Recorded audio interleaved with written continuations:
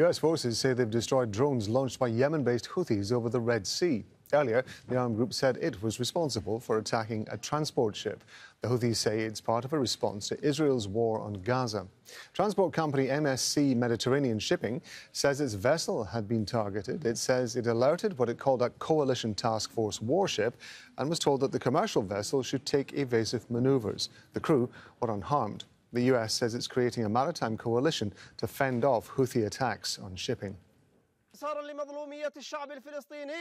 In support of the oppressed Palestinian people who continue to suffer from killings, destruction, siege, and starvation, the naval forces of the Yemeni armed forces, with the help of God, carried out a targeted operation against the commercial ship MSC United using suitable naval missiles.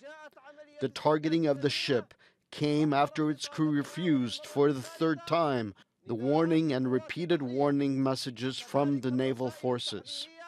The Yemeni armed forces also carried out a military operation with a number of drones against military targets in the Israeli port city of Eilat.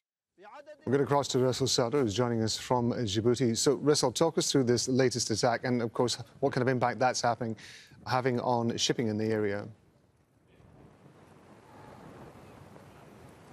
Well, the, the, the, attacks are intensified here. So the U.S. Central Command saying that the U.S. assets, military assets in the region, they have shut down 12 one-way attack drones, three anti-ship ballistic missiles, and two land attack uh, cruise missiles in the southern Red Sea uh, that were fired by Houthis over the period of uh, 10 hours. So on Tuesday. So this is quite huge number. And so far, since October 17th, there have been nearly 100 drones operated by Houthis that have been shot down in the region. Houthis, they have attacked since then. They have attacked more than 21 uh, ships that were passing through the Red Sea. And of course, as a result, the maritime trade here is, is dramatically uh, disrupted. The, the, experts here, the authorities here, they're saying that the, the number of the ships passing through Bab el Mandeb have declined,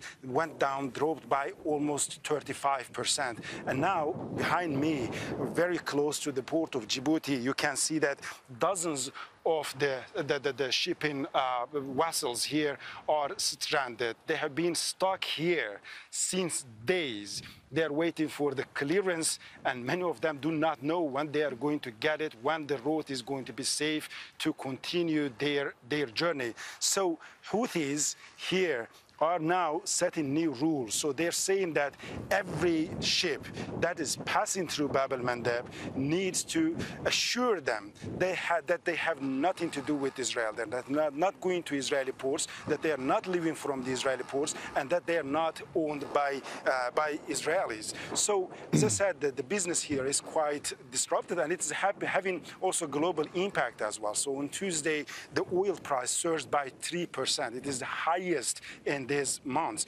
And several of international shipping companies, they have suspended their operations. Now, Germany's Hapag-Lloyd is saying that today they are going to have discussion how to proceed from now on. Just earlier, and almost an, a week ago, they said that they are going to reroute at least 25 ships around Africa. But now they're trying to operate. The U.S. is pressuring over the international shipping companies a lot. However, the situation here is quite quite challenging. Resul, thank you very much indeed. Resul Serdar talking to us from Djibouti.